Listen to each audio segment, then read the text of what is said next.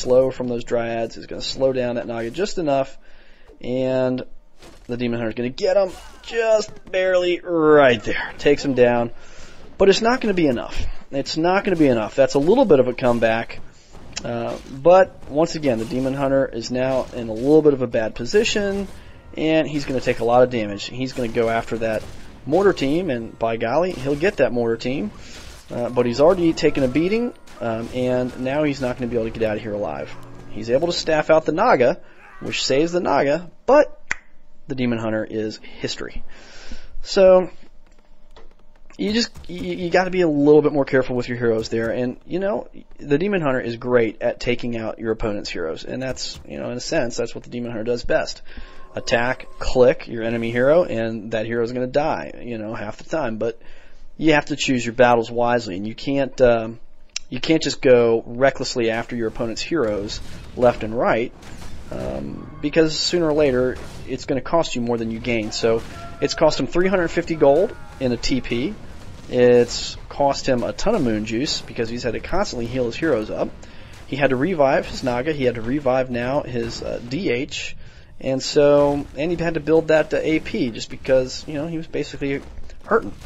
So now well, he's bought a moonstone as well to try and you know get a little bit more moon juice going, and all of this means he's got you know, two bears at this stage of the game instead of having, I don't know, four or five bears at this stage of the game. He's, he's had to spend a lot of money on other things that uh, maybe had he played it a little tighter, a little more cautiously, maybe he would not have had to spend that money. So you, have to give credit to Xyligan there too. He had good micro and that uh, uh, kind of, in a sense, he was able to lure that Demon Hunter into a bad position, knowing that he was hell bent on uh, killing his Archmage. So yeah, well played. So, anyways, the human uh, uh, is currently at 46 food, and he's in control, so he's able to creep a little bit more significant creep camp. He lures the creeps out into the middle of that channel so that that Watcher Ward is placed in a position where he will see all traffic coming in and out of that channel. And that's a good thing because that is pretty much directly in between the two uh, bases. So uh, as the armies move back and forth through there, he's going to know exactly what's going on, and that's a good thing. He's also able to buy a couple of healing scrolls, and here is the classic tier 2 push. He's going to bring peasants. He's got two ivory towers. He's now assembled an army of a couple of mortar teams and several sorceresses. He's able to steal that item there, which is a nice item for the Naga, that greater healing potion. And yeah, really Diesel is forced to kind of retreat a little bit here.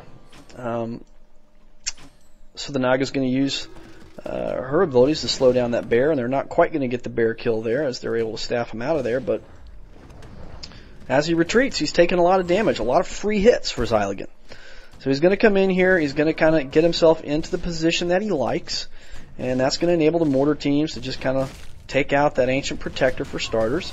He's going to move these peasants up into a position where basically all those peasants are going to do, as you see, there's about eight or nine of them there. They are going to essentially um, just create a little bit of a barrier. Uh, the night elf is going to have to make a decision. Uh, do I attack the peasants, which really are, are not the critical units, or do I move around them? And by moving around them, that gives Xyligan enough time to use his sorceresses to slow pretty much every bear. And that's really a, an, an, essential part of this uh, tactic that Xyligan using. You see, he uses the heal scrolls to counter the forked lightning coming from the Naga of Diesel, and so he's got the, the advantage there. Every time one of those uh, fork lightning goes off, he just pops a heal scroll, and that negates most of that damage. And he's able to use slow and the obstruction of those peasants to just continually slow down the bears. And whenever he needs to, you'll see he'll just back his army off, and then he'll turn and he'll focus fire again, uh, gradually, just trying to take out as many of the bears as he can and you'll see that the, the bears are a couple of them are yellow, one of them dies right there.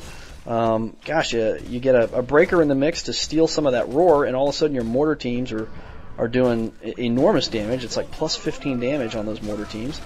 So he's going to get another bear right here. Nope, no he doesn't. He's able to staff him out of there. And this time, the Archmage is the one that gets a little over aggressive, gets stuck in a bad spot, and goes down. So right about now, it looks like maybe the tides are turning, but Xyligan does something that's that's pretty smart, a little bit of quick thinking. He continues to try and take down the bears. He continues to, to use those peasants. He's now got the the Naga surrounded by peasants. Uh, and so he's, you know, heck, they're just peasants, but they're they're dishing out a little bit of damage there. And he buys his Archmage back right here at the tavern. He had enough gold to do it, and here goes the DH down once again.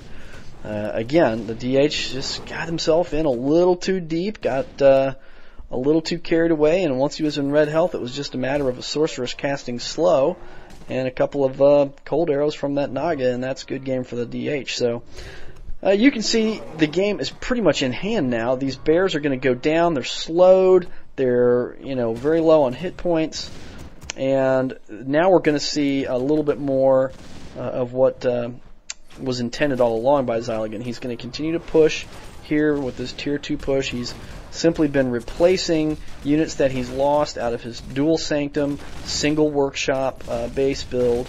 So he's now got an army that consists of uh, three mortars, uh, four sorceresses and a priest for some healing.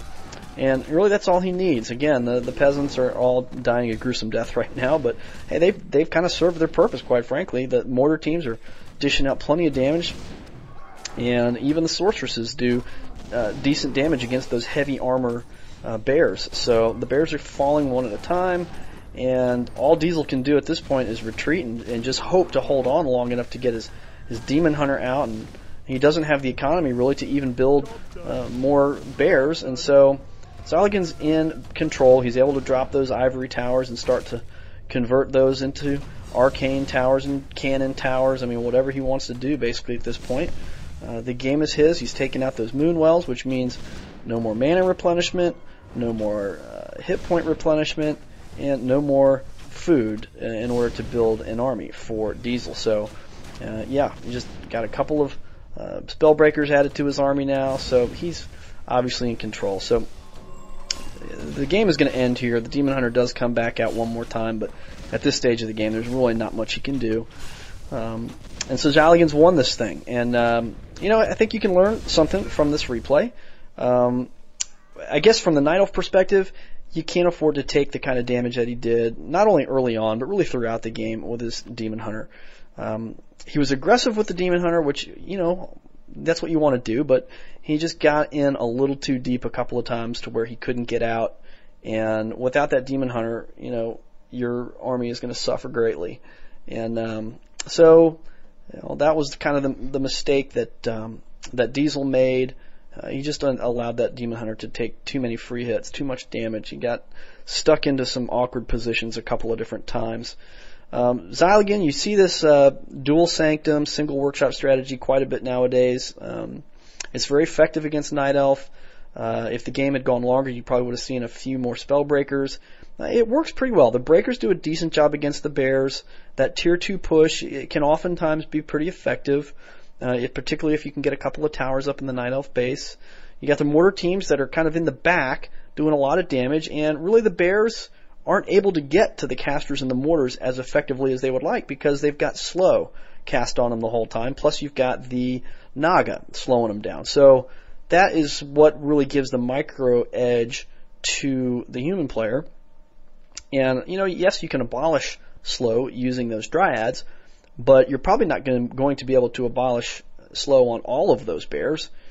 And uh, so, uh, not to mention the fact that if you've got three or four mortar teams focusing on the Dryads, the Dryads aren't going to last very long. They're going to go down in one or two volleys from those mortar teams. So, hey, it's an effective strategy for human players. Uh, hopefully, you guys have picked up some hints here that you can put into your own play style. And good luck uh, using this to your own advantage uh, as you uh, play some games on BattleNet. And I uh, hope you guys enjoyed this commentary. And hey, that's enough out of me. Speierg signing off.